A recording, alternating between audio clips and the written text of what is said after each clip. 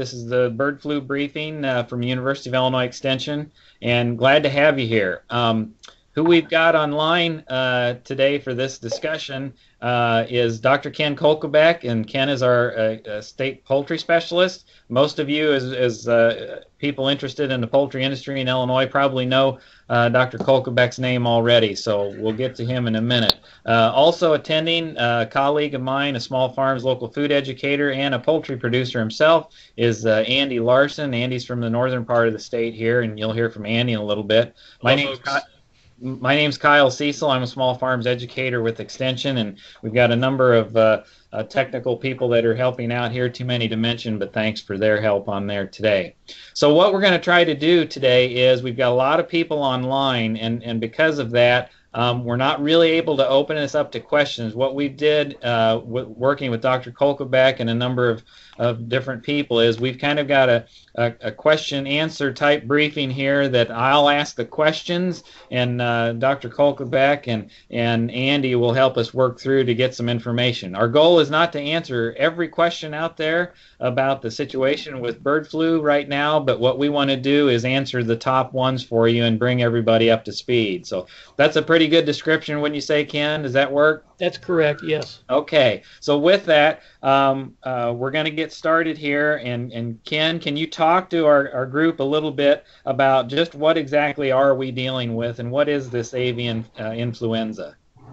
Okay, well, pre- again, appreciate everybody uh, coming into the webinar discussion on this topic. It's uh, it's a topic that's uh, of on the front of everybody's mind in uh, small flock, commercial, uh, layers, turkeys, uh, you name it. And we probably should have had this a couple months ago. But um, so basically, I wanted to kind of tell you, you know, what we're dealing with and what is it um, to kind of set the stage for a few other follow-up points. So um, AI, uh, we call it avian influenza, and the media kind of calls it bird flu. Um, it's a disease that affects all poultry. Um, chickens, turkeys, pheasants, quail, um, ducks, and geese. The caveat in there is that when it affects uh, ducks and geese, they don't show any uh, really symptoms. Um, and in fact, they become the carrier of the virus that uh, eventually will affect, uh, you know, domestic poultry. Um, besides ducks and geese, any shorebirds would also um, carried the virus. Um, and they would shed that virus into the environment, and of course, they often don't show any signs of illness. Uh, now, what we're dealing with here since December 15th of last year, 2014, is a very um, severe and what we call high path avian influenza and HPAI for short. And um, we call it high path because uh, when it affects chickens and turkeys, uh, it's very devastating to the flock in general.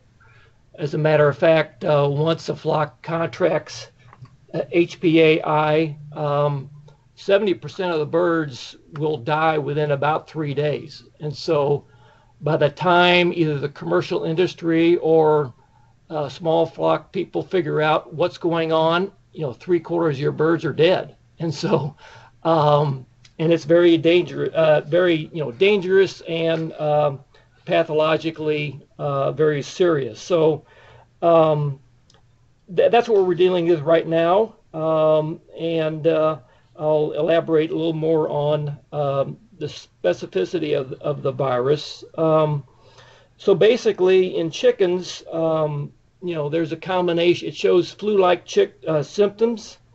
Uh, the birds will gasp for air. Um, sometimes there's diarrhea involved. Um, there's swelling around the, the head, the neck, the eyes, uh, purple discoloration around the head and the legs. Um, now, sometimes their nervous system is affected, and it may look like the birds actually have Marek's disease, which is a nervous disorder. Um, but the birds will have tremors, um, twisted necks, uh, paralyzed wings, um, and so forth. And so it's it's high path. In other words, when the birds get it, um, and basically there's a uh, onset of high degree of uh, mortality uh, occurring. So to further on that, um, December of 2014, we had the first case of uh, that was reported to the USDA uh, division, um, and it was a subtype which was called H5N2. Um, now, briefly, uh, there are there can be numerous combinations of what we call um, avian influenza or bird flu. Okay, and um, these combinations there can be around um, over 200 combinations of the uh, the glycoproteins that cause the uh, the virus to recombine and actually produce what is called, you know, a high path. So uh, the H stands for hemagglutinin hemagglutinin um, protein. It's a glycoprotein, and the N stands for neuraminidase. Um, and so there are approximately eight, 16 types of H types and nine of N. And so when you multiply that out, there's about 144 combinations. And so what we have going on right now is uh, the H5N2, and it's uh, essentially uh, high path. Um, and so um, the first case was in um, Oregon, I believe. Um, and ironically, it started out in a backyard flock. There were mixed birds in this backyard flock about 30 of them. Um, now that virus was typed as H5N8, okay? Uh, but quickly after that, um, there were flocks that were identified with H5N2, okay? And um, so once we got the first case in Oregon in late 2014, other western states um, reported outbreaks of the subtype H5N2. Washington, California, Idaho, um, some commercial flocks in California. Um, and so um, that's kind of what it, where it started. Um, then we started to see outbreaks, uh, at least in, in backyard and in uh, commercial turkey flocks in the state of Minnesota, uh, Missouri, and Arkansas. Okay, and so the first outbreaks were um, Minnesota commercial turkeys, uh, H5N2, and 26,000 birds were affected.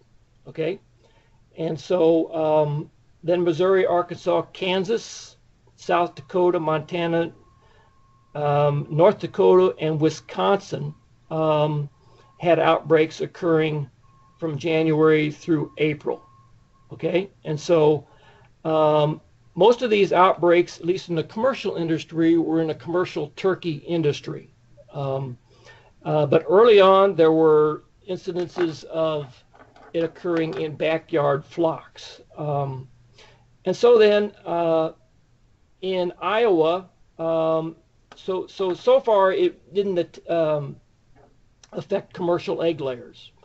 In Iowa, on April 20th, we got a confirmation, at least USDA got a confirmation of there were 3.8 million hens that were infected with H5N2 uh, on a complex. And essentially, those birds had to be depopulated by USDA. Um, and most recently, as of yesterday, there was a um, about 5.5 million layers in Iowa that were affected and have to be depopulated. And nationwide, at least in the commercial industry, there's been 11, 11 million birds uh, depopulated in the layer in the turkey industry. So, um, just a little bit more on statistics, and then we'll go and, and talk a little bit about how the virus spreads. Um, so, April 22nd, we have um, 58 commercial farms and since a lot of you are out there um, interested in, in, backyard and small flocks, uh, only 10 backyard flocks and small farms, um, about 2.7 million turkeys on 44 farms, and now probably up to about five egg production farms. Um, And so uh, the indication of and the way it's transferred is um, mode of transmission are various types, but commercial or but waterfowl, ducks and geese seem to carry the virus, and um, then of course then the virus gets into these turkey and layer buildings, and uh, you know birds contract the disease, and it affects them very seriously. So the operation on the west coast, we figured that um, it occurred by birds um, in in the Pacific Flyway, and then when we got confirmation of H5N2 in Minnesota, that was birds that actually, um, you know, they overwinter down in South America, um, and they commingle. Uh, ducks and geese commingle, and then they carry the virus back up when they come up here for the summertime, and uh, so the, the birds, commercial birds that were affected in Minnesota occurred, actually got the disease from waterfowl carrying it back up, uh, depositing their feces near near buildings, and uh, then then flocks actually um, started to get uh, problems with H5N2. And can the migratory waterfowl, you know, the, the distance that they can travel in a day's time, that's what makes this uh, the the spread of this this type of uh, um, uh, disease that much more you know readily available in these flyways correct exactly correct correct. And um, it's still amazing to me how it gets into commercial operations. I, I could see if you have a backyard flock and and you have uh, you know ducks and geese without around within a couple of miles and a reservoir like a pond i could see where possibly that might be an easier transmission for that backyard flock. But how it gets into the commercial operation is because they practice and practice and practice biosecurity. Um, and it's just it's uh, it's it's kind of uh, mind-boggling to think that that could even happen. Um, but the, so the virus, you know, the virus basically spreads um, bird-to-bird contact, okay, um, and human-to-bird contact via what we call horizontal transmission uh, which so the virus can live in the manure, in the dust, in the feathers, on the equipment, feed trucks, uh, you name it. Um, there is less likely a an incidence of the um, virus actually uh, traveling through the air, although um, if conditions are cool and moist, and uh, it could spread from house to house, at least in a commercial operation. So Viruses can survive about um, 35 or more days in manure, soil, and water. And uh, this virus can also survive three months or more in cold weather. Now, um, in my conversations with Dr. Rob Porter, who's helped us out quite a bit on a lot of this information, as of yesterday, he said the virus can survive uh, 30 days or so in temperatures of 70 to 75 degrees Fahrenheit. So uh, we're hoping that we're at the tail end of this problem. Um, however, the uh, s- some of the USDA people think that it will resurface in the fall when temperatures get cool and the bird, the at least the waterfowl start to uh, gather together and start their migration down south, and they leave the virus behind before they go down south. And so um, that's what we're kind of facing here going forward in the fall. So likely, Dr. Koelkebeck, we'll be talking about this and dealing with it in some form or fashion for an extended period of time. This is probably isn't something we're going to deal with for 30 days here. More likely, we'll be diligent about this for a number of years. Is that a correct statement? Yeah, yeah. And as, in my conversation with Dr. Porter yesterday, he said that um, uh, this is something that's, you know, not just this this uh, this winter and this spring, but I think he, in, in his mind he's a veterinarian and I'm not actually. So his his mind thinks that we're going to be dealing with this with three or four more years, maybe even five years or so. so um, the better so educated we are, the the better we'll be able to handle it. Exactly right. Yeah. Yeah. So um, one of the first things that comes to mind, and you get a lot of questions about, is um, you know, with this this this situation in poultry, are, are, are poultry and eggs then safe to eat? Are we okay with consuming those food products? Yeah, uh, that's a good question. I've I've actually received some questions too in regards to that. Um, from from our sources is that the the risk to the public is very low, and um, uh, the as, as a matter of fact, if people do cook meat properly, uh, make sure that internal temperature is up to about 165 or so, and cook eggs properly, that um, there should be no reason to suspect that uh, people are going to get sick from eating poultry products and eggs. And so, um, and that's good news for the public. Um, and so, so far, this H5N2 variant of the of the virus has, um, you know, it's a it's a bird problem right now. And um, thinking back a little bit to the H5N1 outbreak in Southeast Asia, where people did die, unfortunately, uh, with that strain. Um, and this is this is a different dif- different combination. Um, and so, uh, of course, people died over there because they they would keep they would be very close to their birds. They would eat in I'm the house, they tell would you sleep in the quiet. house, and so um, we practice better biosecurity here in the United States. And so um, what we have now is not the H5N1 uh, combination. Uh, it's H5N2, and it seems to be limited to being just a bird problem only. So the the normal recommendation we would always have is just good food safety, good food handling practices. Cook cook the uh, food to proper temperature, and we should be okay there. Yes, yeah, that's our current thinking at the moment. Yes. So, with a lot of the growers that we have, producers that we have online here today, um, can you talk a little bit more about what specifically they should be looking for in these birds and, and, and talk us through, walk us through that? Great. Okay. Yeah. Um, of course, uh, what you need to, to realize that um, uh, you're always, when you go out and check your birds in the morning and the evening, you're always going to look for any sick birds that you have. Okay. And um, of course, with this disease, if something, if, if you get an outbreak, um, you know, a couple, two or three days, and you might lose all the birds or nearly all the birds. So, uh, what happens is first, um, laying hens, particularly, what they first do is drop in egg production. They will quit laying eggs. Just just stop. And um, birds will not eat. They have lower appetite, um, and so you would have decreased egg production. Um, and similar to Newcastle bronchitis, uh, a producer would look for any soft-shelled eggs, misshapen eggs that the hens are still laying and producing.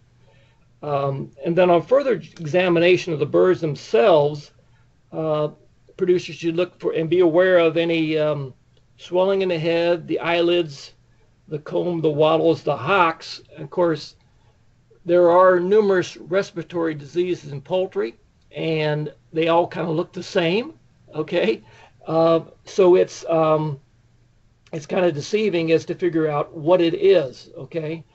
Uh, another thing that they can look for is purple discoloration in the wattles, the combs, the legs. Um, runny noses, sneezing, coughing, um, and of course if they are having trouble walking um, or having diarrhea, um, that's an indication too that there's something more than just a, uh, a little bout of, um, of coryza or something else going or, or bronchitis going through the flock. And typically, typically what happens is that um, you know you just have sudden mortality sudden death without clinical uh, signs. And so if you come in, if you have 30 birds and you have uh, 10 of them are dead one morning, um, you need to suspect that something serious is going on.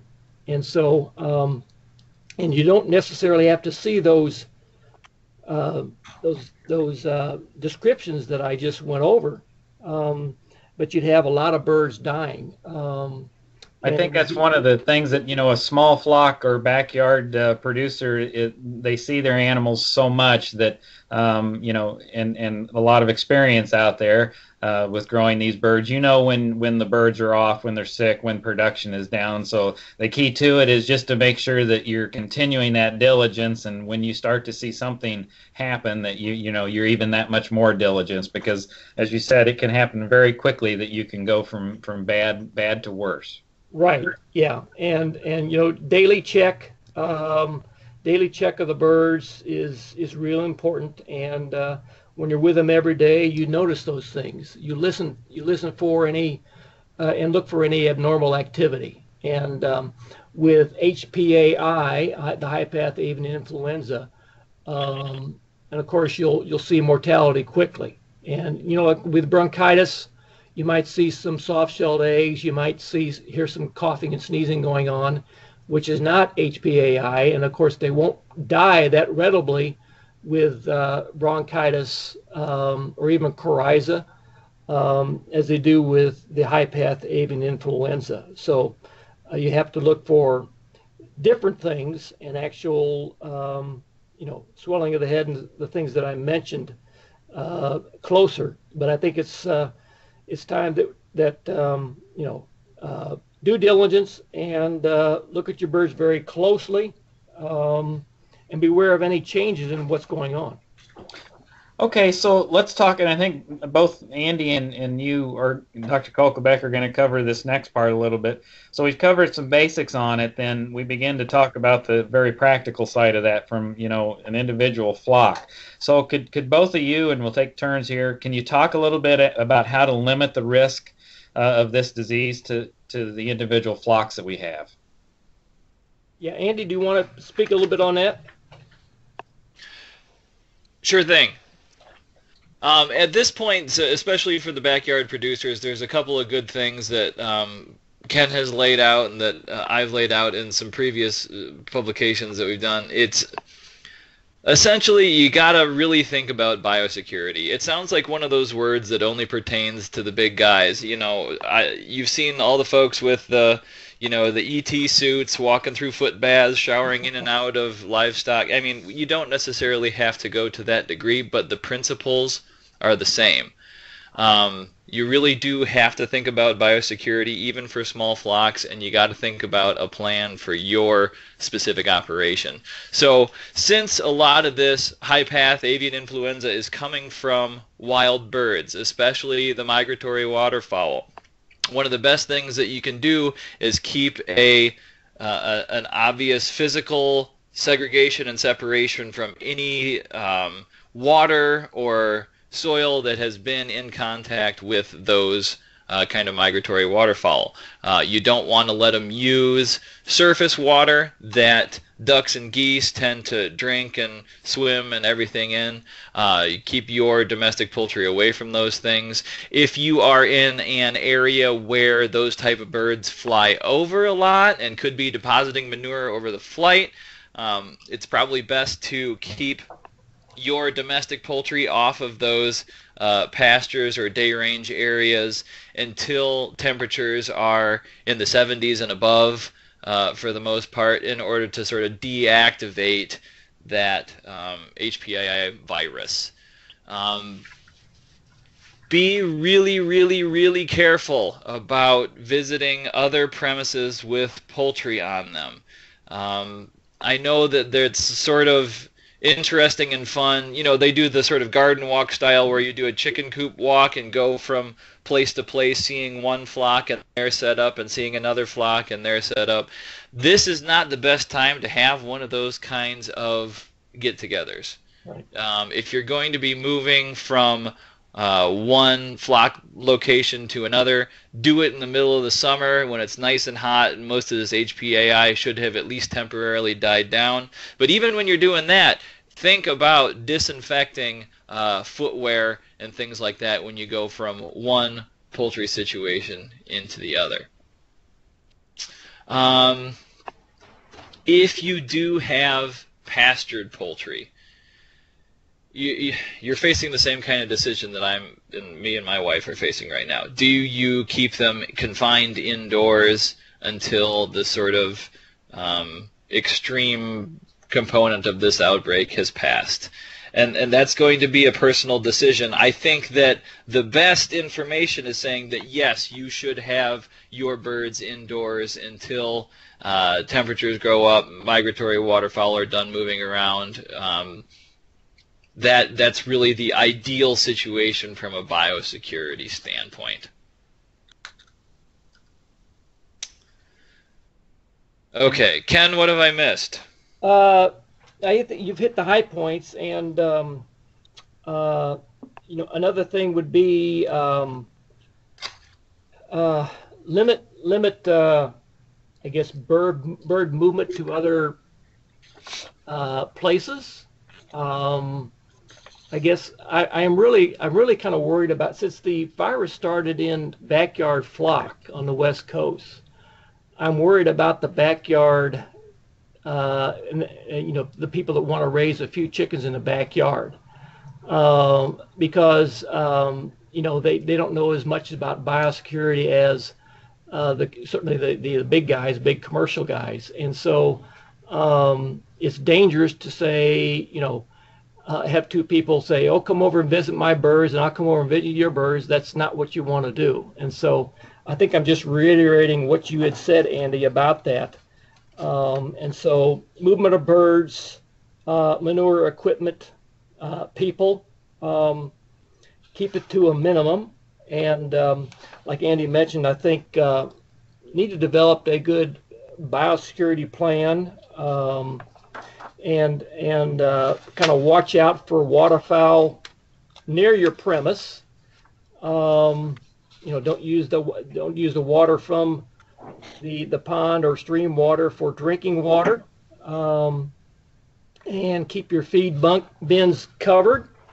Um, you know, there's there's a whole host of things that you can do to try to, you know, limit exposure. Try not to have feed attracting birds. Um, and uh, keep the birds in the. Of course, with those with pasture poultry, um, you know, the kind of it's kind of a marketing thing. Do you let your birds out? It, it damage your your uh, your marketing objectives, um, and and so you have to decide that on your own. Um, clothing that you wear to uh, take care of the birds, um, make sure it's clean. Uh, even go as far as ordering Tyvek suits on and plastic boots, disposable, um, back and forth when you're uh, taking care of the birds, um, just to avoid contaminating uh, and, and, spreading it around. Um, and of course, uh, limit uh, limiting vi- visitors. And uh, I think Andy, you had gone on and uh, got some examples of signs that you could put up in front of your property. Yep. you might want to elaborate a little bit on that. Uh, it's a it's a pretty simple situation. I mean, there's a lot of sort of pre-made signs out there. I even have one if you want to contact me for an actual template of a sign. But basically, just say biosecurity. Please, uh, if you've been in contact with other livestock or poultry operations, call these numbers before entering the premises.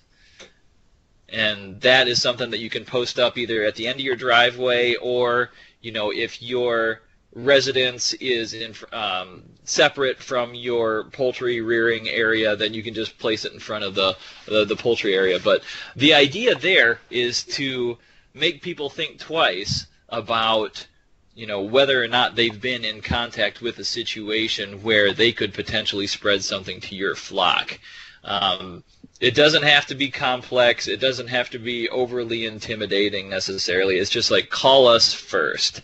And so the person who's coming and delivering feed, the person who has been at another poultry flock, the person who is a service provider to poultry operations, whatever, all those people should be um, give, giving second thoughts about whether or not to go onto an additional poultry operation without uh, the proper precautions. If you do have somebody that's coming in from another uh, poultry operation, it is really good practice to do um, disinfection of the vehicle tires and maybe the underside of the vehicle if you can get at it.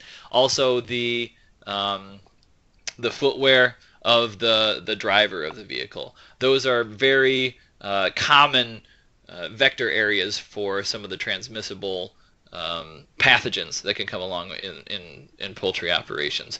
Another thing, just to add on to uh, Ken's discussion regarding uh, footwear and clothing and everything like that, go from when you're doing your chores at your poultry operation, for example, if you've got two flocks, um, one is you know you've had forever and they're a they're bird flu free, and then there's some new ones that you're bringing on as replacements and they're in quarantine.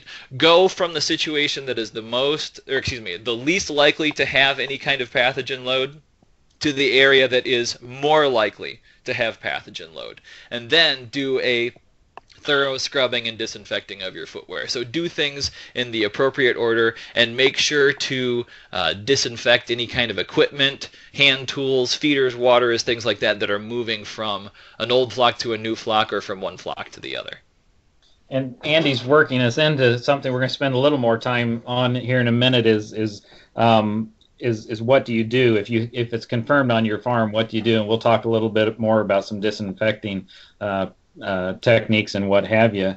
Um, but uh, Ken, can we come back to you now and, and can you talk to us a little more about you know what?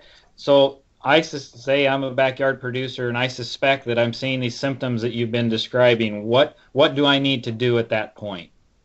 Okay. Um, yeah, uh, that, that's a good point. Um, so if, if you see higher mortality, if you see some of the symptoms that we've described before, um, what you need to do immediately is to uh, try to find a local veterinarian. I know that's difficult in Illinois because there's not a lot of uh, veterinarians that are out there that are um, expertise in birds. Um, but you could also call your local extension office and get the ball rolling really quickly as to far as uh, you know what's going on. And um, what the veterinarian would do or the extension office would do would call the Department of Agriculture in Springfield and um, uh, get the ball rolling as far as okay, we need to look at this problem. And I'll give you that number here online uh, on the air. It's uh, 217 782 4944. That's 217 782 4944. Uh, there's a toll free number which is 866 299 9256. Um, and so, uh, what the department will do will will uh, there are two there are two labs that can actually type uh, this type of virus, and um, they will contact our U of I College of Vet and Medicine. And the state lab is in Galesburg. Um, and they will tell you the contact numbers for the Galesburg uh, laboratory. Um, it's also a good idea to maybe then uh, call our vet medicine uh, lab directly here in Champaign, and that's 217 333 1620, and that's the small animal diagnostic lab. Uh, so um, if you suspect anything like this is going on, you need to start making your, your phone calls. Um, and essentially what happens is that, um, you know, if, if uh, what will happen is that the attending veterinarian would uh, take swab samples in, of the trachea, um, and they basically will uh, send them to U of I Diagnostic Lab and or Galesburg. Um, they will do further what's called a PCR test, but it's a test to actually determine whether the flock has HPAI. And then at that point, they will actually send samples to the National Veterinarian Service Lab in Ames, Iowa. And uh, they will further type that out to make sure uh, Hopefully it's not, uh, but if it's H, H5N2 high path, um, then it gets reported to USDA APHIS. Um, and at that point, um, things like quarantine of, of the area around your property starts. And so this process would take about four to seven days uh, to occur.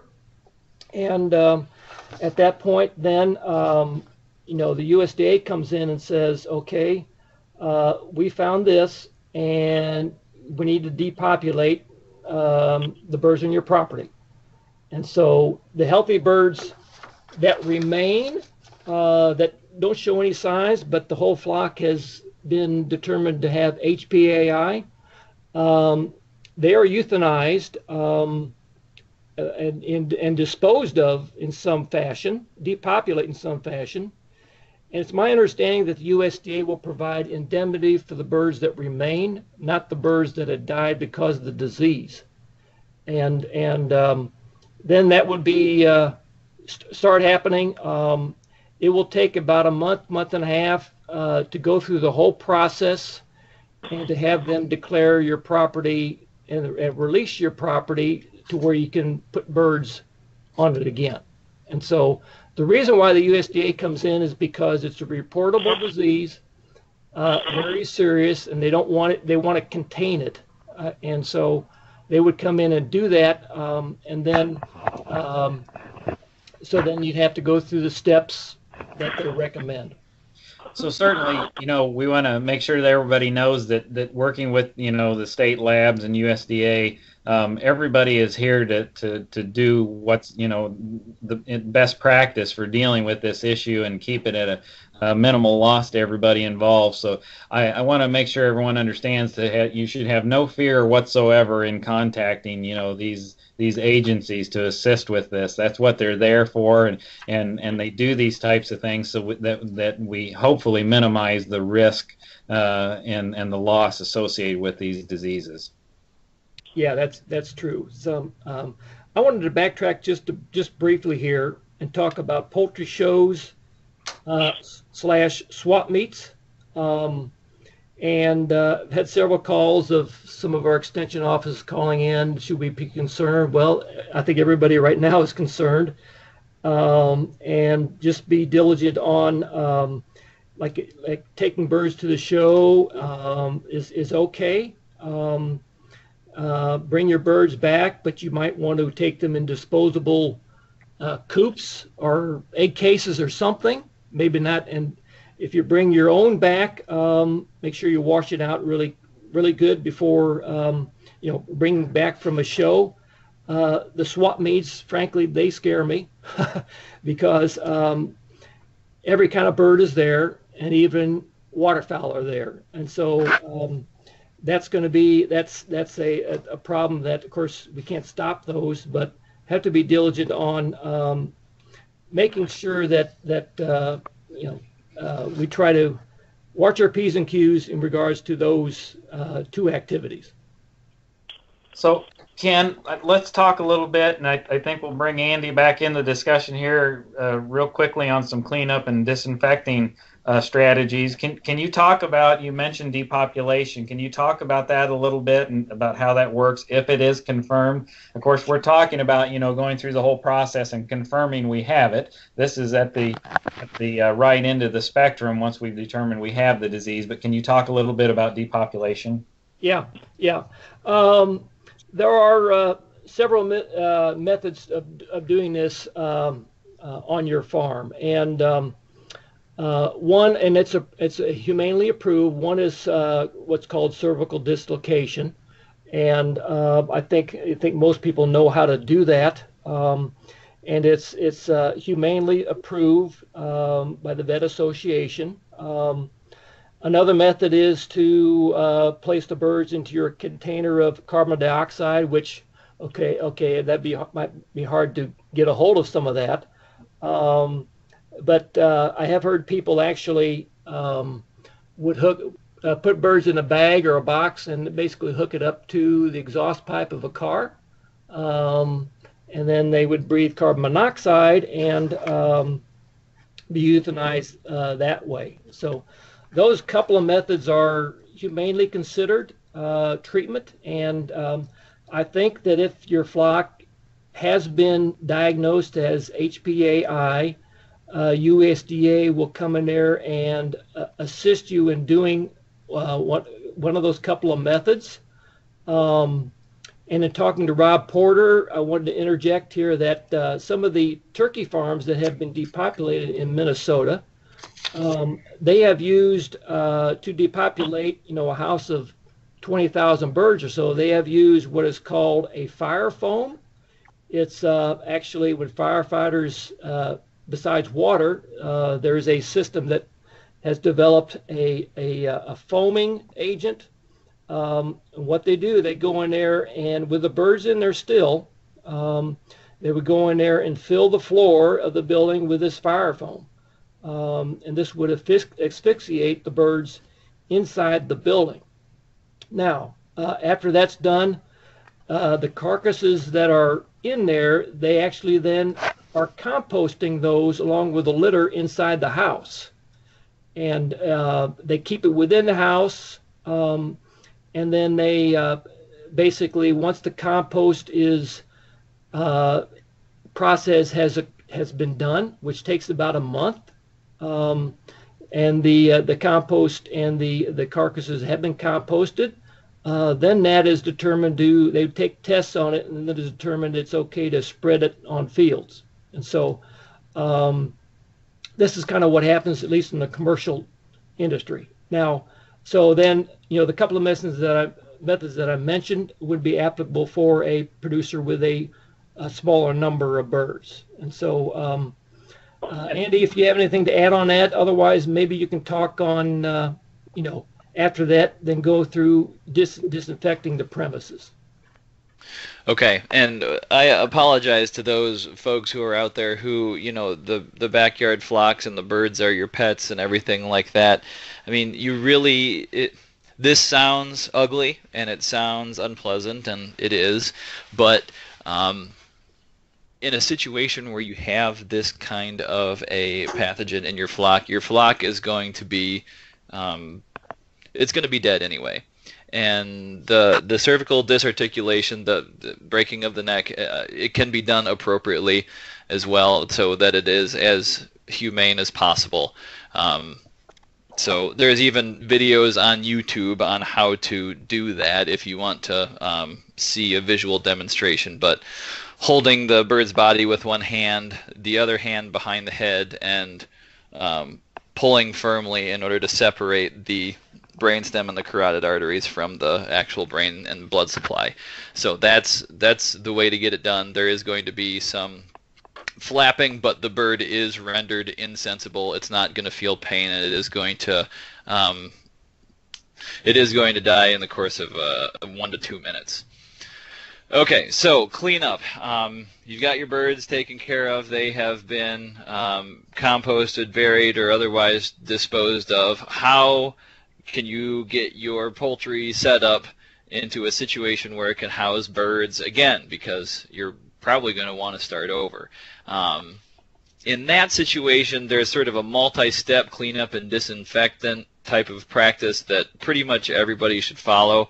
Uh, in the case of a virus. The, so the three steps are kind of dry cleanup, wet cleanup, and disinfection. Dry cleanup just meaning the removal of dry materials, dry manure, thing like that. Wet cleanup being using a, a, a detergent and soap and water uh, to do a, a cleanup of the equipment and the premises, and then uh, disinfection. In this particular situation where we don't they're not positive whether or not this virus is being um, aerosolized, basically moving by air and wind. Um, so they're not recommending any kind of dry cleanup procedures that would create a lot of dust that might be harboring the pathogen. So a lot of like wire brushing, for example, is probably not going to be uh, recommended because then there there is concern that the pathogen can be transported on air currents in that um, aerosolized form. Not sure about that, but one way or another, better safe than sorry. So in this situation, you're going to want to really focus on the wet cleaning and the disinfecting. Um, You'll want to remove every piece of equipment out of your poultry setup as you possibly can, uh, whether that be feeders, waterers, roosting bars, nest boxes, um, whatever else. And you do a nice, thorough soap and water cleanup of all of those things. You scrape off any kind of excessive organic material, manure, um, things like that. Uh, do a soap and water cleanup and then um, let it dry thoroughly, and then do a disinfection process. And I'll, I'll, talk about some some disinfectants that you can use. As far as your actual coop or your actual run, that type of area, um, remove as much of the the dust, this the the litter, the manure, all of those things that are sort of on the floor, and anything that may be adhering to the walls. Um, get that cleaned out as much as you possibly can, and um, do a soap and water cleanup of the of the premises. Um, excuse me. Do the soap and water cleanup, let that dry thoroughly, and then do a disinfection step with one of the recommended disinfectant um, products. After that, you'll let everything dry down very thoroughly. Uh, natural air, warm air, warm temperatures, and sunlight are all very effective uh, natural disinfecting agents. So those are all uh, really good things that you could expose your your your situation too. Now, pardon me. As far as disinfection is incurred, there there there's a lot of options out there for disinfectants. Um, the most common that most people in the, the backyard and small flock type of situation are going to have at their disposal is bleach. Okay? Uh, you can use bleach as a very effective disinfectant. Um, it denatures proteins, thereby rendering all those pathogens ineffective and dead. Um, it's inexpensive, it's very broad spectrum, and it doesn't require a very long contact time. The problem with bleach is that it is going to be uh, inactivated by the presence of organic materials, dirt, dust, manure, etc. All of those things are going to be uh, kind of diluting the effectiveness of the bleach disinfectant. Uh, the other sort of minimal downside is that it can be a little bit corrosive to metal materials if you're using a lot of metal equipment, and you want to be very sure never to mix it with um, an acid of any sort. Because if you mix bleach with an acid, there will be chlorine gas uh, released. So uh, that's kind of the simplest, cheapest, most readily available uh, disinfectant that the average household is going to have on hand. The second sort of really easy to use, um, minimal side effect type of stuff that you can find in a lot of stores and farm stores. And I'm sorry I keep coughing you all. I'm muting myself for that reason. Um, the second most common is going to be your iodine compounds. Really easy to come across, very minimal in terms of side effects or precautions. It isn't as broadly effective as your bleach solution is going to be. uh, so it, it's it's still going to be good, but it might not be perfect. It is um, just like bleach in that it is going to require relatively frequent application to maintain that sort of disinfected um, scenario. Um, the other big thing about iodine compounds is that it's iodine. Uh, usually iodophor is something iodine and something else that makes it readily mixable, and that is going to be staining if you're looking for something that's going to be sort of the industry gold standard as far as disinfecting agents that have very broad effect, um, effectiveness even in the presence of a lot of organic materials like dirt and feces and everything else. You're probably going to be looking primarily at the oxidizing agents or the phenols. And when I say an oxidizing agent, we're talking hydrogen peroxide, peracetic acid, some of those things. Uh, you might have heard the trade name Virkon, Virkon S. Uh, very effective disinfecting agent. Um, going to be a, a, a, highly recommended material for the disinfection of anything from the very small flock to the very large commercial type of operations. Um, so oxidizing agents, the other that you'll probably find pretty uh, readily is going to be the phenols. Those are things like one-stroke Environ, one-stroke Environ, Phenotec, and Tektrol. These different compounds are going to be very effective in the presence of organic material. So if it's a very dirty, dusty, poopy kind of situation, one of these is probably going to be a really good bet. Um, it's stable, it's non-corrosive, it's a it's a really good thing overall. Um, the one warning on those phenols is that there is some potential toxicity to uh, cats and to pigs. So be really careful in a mixed animal, mixed livestock type of setup. So, um, okay. yeah. Thanks for that, Andy, and, and I will I'll make note of some of these resources that we're going to have available here when we get to the end of the uh, uh, session here as we get towards the end of our time and some of the things we talked about where they're going to be housed. Um, am I to understand also that, uh, and this is to either of you, um, that uh, after about 30 to 60 days after being uh, getting rid of all your birds and depopulating and cleaning and what have you, USDA will then work with you again about how and when you can repopulate. But I think it's 30 to 60 days, but it varies. Is that right, Ken? Yeah, it'll it'll vary depending upon the speed at which they do this, the speed at which you um, you know depopulate, and the speed at which you clean everything up. I know it takes time, and and uh, they do what is called releasing the premise. In other words, when they when they say that you you have been released, they've released their quarantine and you are free to go ahead and repopulate uh, your flock. And so it, it's gonna it's gonna vary, but that's that's probably a, a pretty good guess right in there. Okay.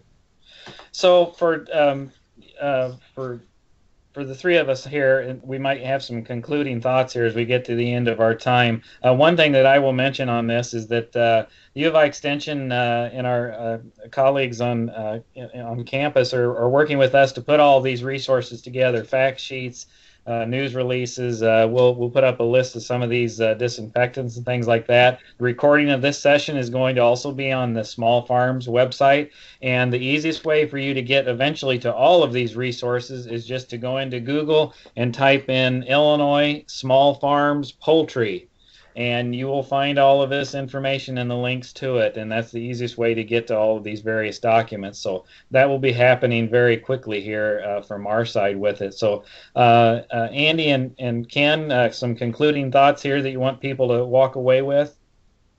Yeah i guess i'll, I'll start here a little bit. Um, so we're, we're still having outbreaks at least in the commercial industry as of today. Uh, we don't know how long that's going to happen um, and going forward here, we're hopeful we're at the end of uh, the seriousness, at least for now, maybe until until fall. Um, but I think it's it's it's important for uh, you know small flock poultry producers, uh, whether you're pasture, organic, backyard, or whatever, just to be mindful and diligent on your your biosecurity practices. Um, watch watch your poultry closely. Um, watch for some of the signs that we have talked about here today. Um, and then, um, you know, take necessary steps uh, if it comes to that. And of course, take necessary steps to limit your risk uh, of, of this problem. As we said in the beginning, I don't think it's, uh, you know, one and done right here. I, I think it's, uh, we'll, we'll uh, continue to have these kind of things, uh, events, problems with HPAI going forward in the next maybe four or five years. So, Andy?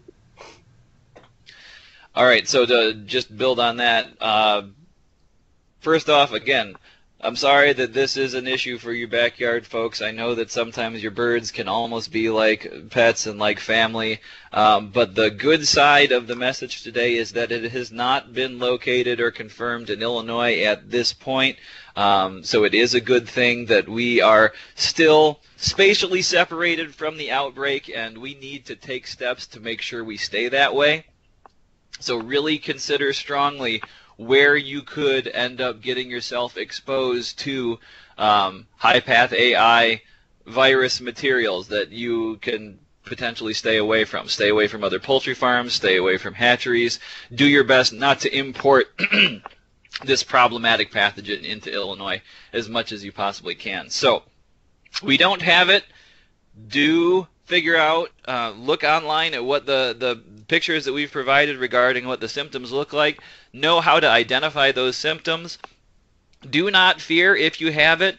You do need to get rid of those birds that have high path AI so they are not a vector to the rest of the commercial industry, costing people potentially millions of dollars. Um, so be very aware of what it looks like when you get it. If you do get it, get rid of it in the appropriate way. Call your vet, call the numbers that Ken provided, make sure that your flock is depopulated, clean and disinfect appropriately, and start from scratch, start fresh um, over again in 30 to 60 days. Okay, with that, um, I think that'll conclude our session here today and be looking uh, in various um, uh, newspapers and trade magazines and things like that. We'll have a lot of information out there about resources we have. And please visit uh, Illinois Small Farms Poultry, uh, Google that, and uh, we'll get you can get to all the resources. Want to thank everybody for being on today. Thank you to the speakers, and thank you for all of our help from the campus people putting the tech side of this together. To all of you growers out there, um, I hope you gained some useful information, and uh, hopefully we answered most of the questions you might have. Uh, it's something. This is something that we just unfortunately have to deal with, and there's a straightforward way to do it. And uh, with anything in agriculture, we'll deal with it and, and go on and, and have uh, productive flocks out there. So with that, uh, we're going to sign off, and everybody, uh, I wish you all good luck with your flocks.